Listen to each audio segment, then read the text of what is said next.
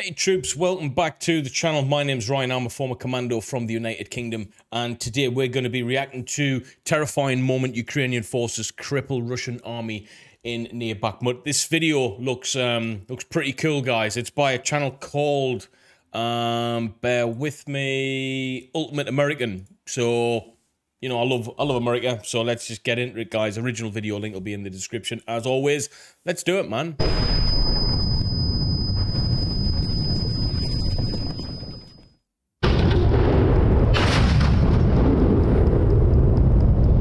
Ukrainian forces have broken through Russia's defenses near the Orikhovo-Vasylivka settlements in the Bakhmut area.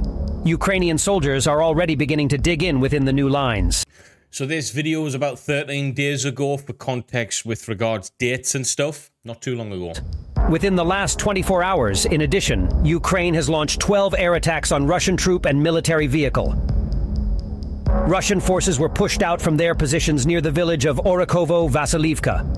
Orakovko Vasilivka. Now, I have no reason to disbelieve that this footage isn't from there, but that looks quite. That doesn't look like Ukraine.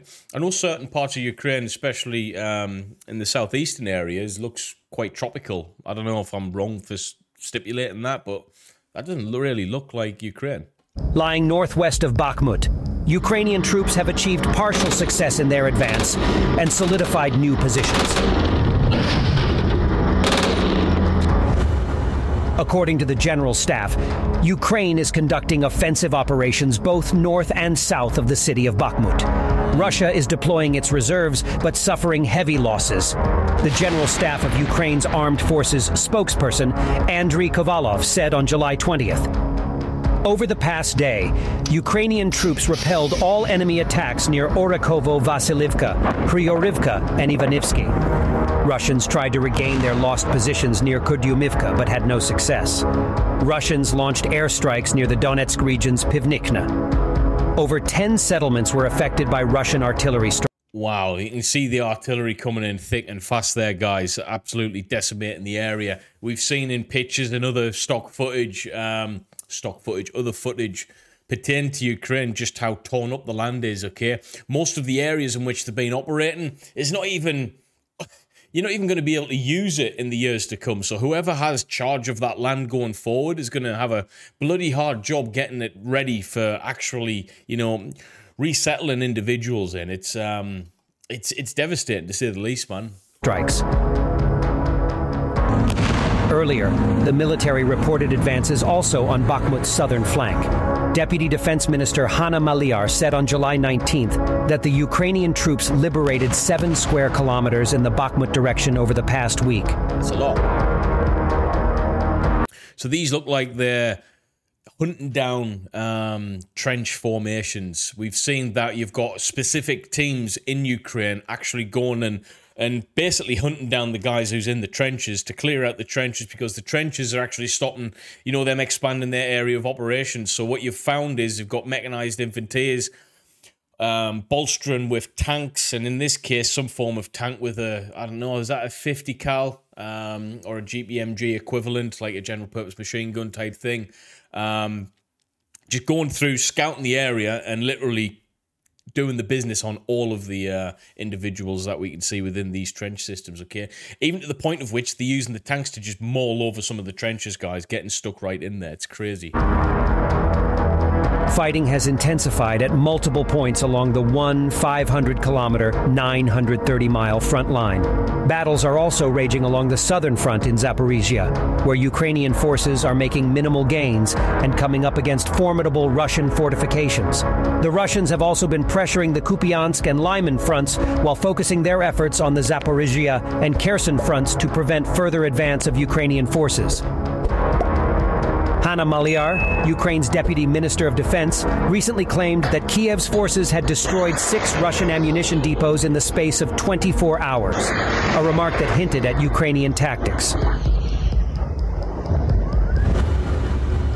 In the ongoing war, Ukrainian forces continue to deal significant blows to Russian tanks, with the current counteroffensive potentially hastening the destruction of Russian armored vehicles. That is insane.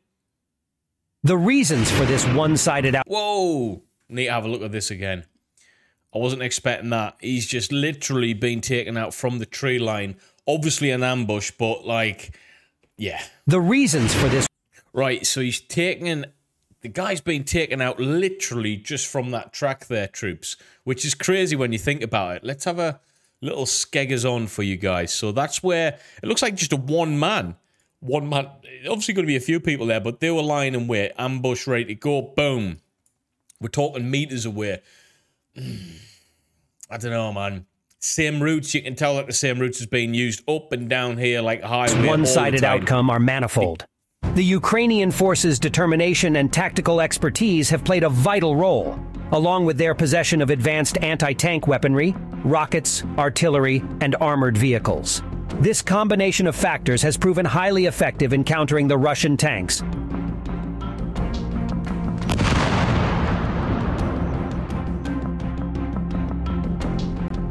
The conflict in Ukraine has sparked discussions about the future of modern warfare and the relevance of main battle tanks.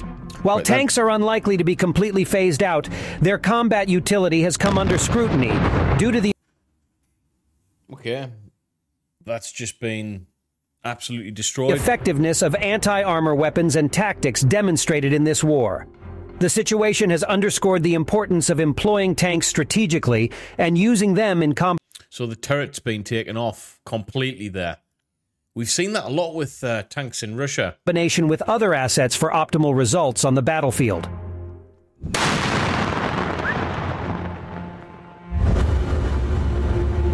Throughout the course of the conflict, Ukraine has shown that with timely and consistent help, it can prevail on the battlefield even when its troops are outnumbered.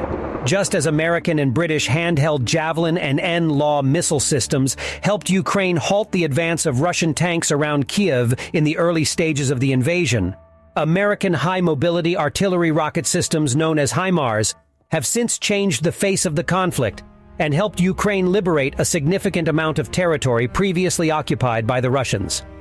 I would say the HIMARS has been instrumental in actually getting Ukraine to the point of where they're at right now. Although it's not a, um, it's not dotted at the end and underlined. It's still a, um, an ongoing horrible war. I think it would have been over a long time ago, personally, and not in Ukraine's favor. Had HIMARS specifically not being employed in Ukraine, and reason being, obviously, you know, we see how the Russian tactics work out. They just throw an unbelievable amount of artillery fire in areas in some cases that they don't even need to, but they just barrage areas like like Kel. That's what they've always done, all right, for the past hundred years. Um, it works in many ways. It halts your movement, but how how can you combat that? Well, these things actually combat that. They combated the ammunition stores. They combated the actual kit and equipment itself that they were deploying these artillery um, barrages from. So they were quite instrumental in the early days. I remember covering the war quite quite a, a, a, lot, and these things were very much instrumental. I have no doubt that they're still continuing to cause havoc on the battlefield in a good way. Such aid, when promptly and consistently supplied, dramatically improves the odds of a decisive Ukrainian victory over Russia.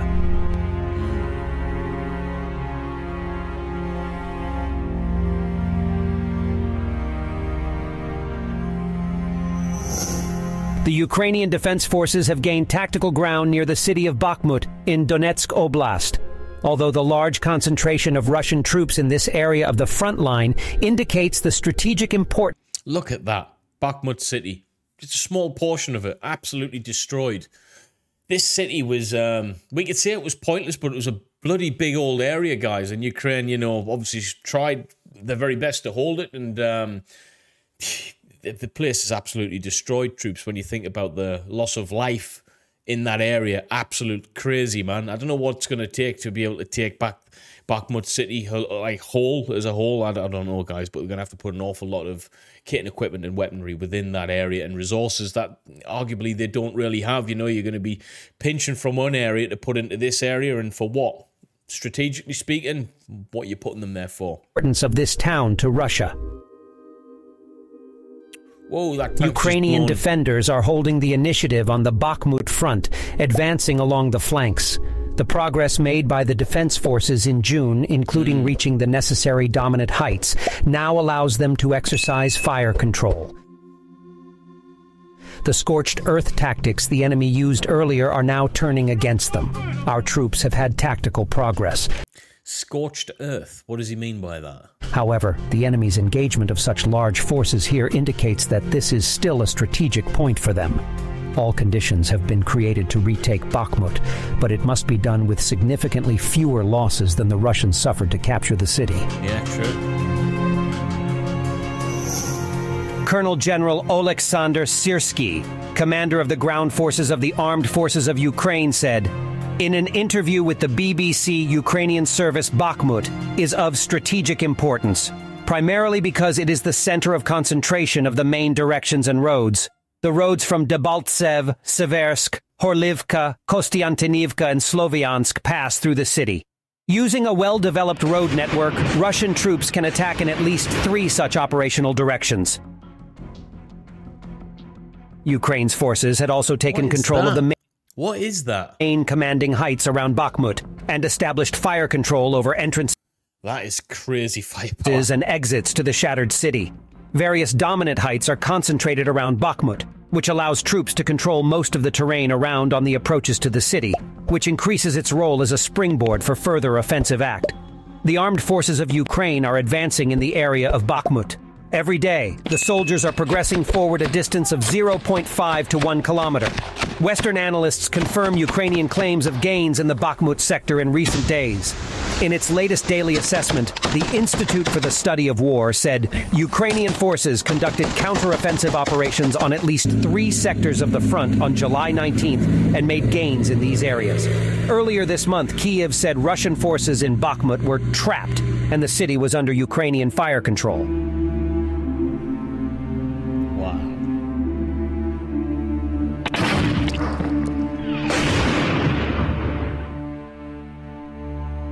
Still continuing to move forward despite that area being a target.